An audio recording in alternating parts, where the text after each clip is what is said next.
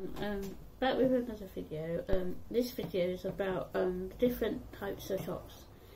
Um, one's from the range uh, and the other one's from Amazon. So when I went to the range I bought this little um, painting by numbers art maker.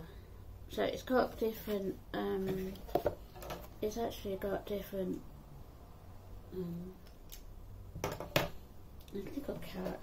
Um, actually got different. Um, it's it's on the canvas. I'll show it to you in a minute. Um, it's got um, 12 times the wheel paint pots, three paint brushes, wall hanger kit.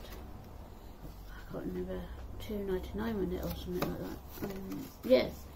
So um, it's got the different numbers at the back and the different sizes.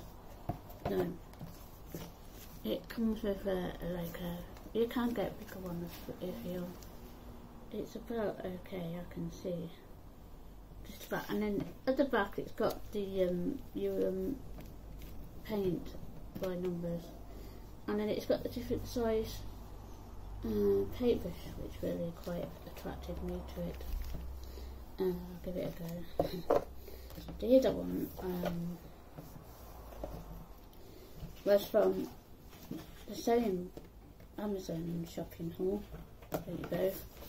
Where's the actual ultimate journal, sewing journal? It's okay. Um, I've had something similar before, but it's a good idea if you want to put your item quantity and cost and shop. And then you can put your fabric there and a picture if you want and the fitting notes if you're doing dressmaking. So we don't have to have it as dressmaking can do what you want on it. And um, and it's just a quite nice little book, I suppose. Um, cost around nine a few pence. So that's the um, my other planner for um the term. So by this little video, thumbs up, subscribe and share, share my videos. Thank you, bye.